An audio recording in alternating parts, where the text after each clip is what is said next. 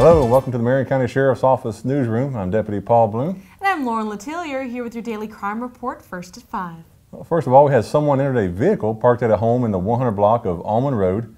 Once inside, they stole a wallet and a cell phone with a total value of $110. They also caused $250 of damage to the vehicle's tire and door. A red Schwinn scooter was stolen from a home on Juniper Pass Way.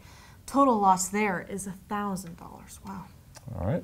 Someone broke into a home in the 1800 block of Southwest 60th Street.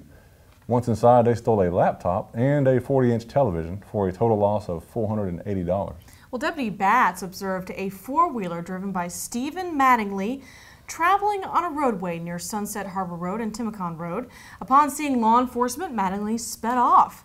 Deputy Batts attempted a traffic stop, but Mattingly failed to stop and a pursuit was initiated. And after a few minutes, Mattingly pulled into a yard on Southeast 103rd Avenue and fled on foot into the home. After a short time, he came out and was placed under arrest. A wallet with methamphetamine, marijuana, and drug paraphernalia was located near the four-wheeler he was driving, and Mattingly's license was habitually suspended. He was arrested and transported to the Gold Star Hotel. All right.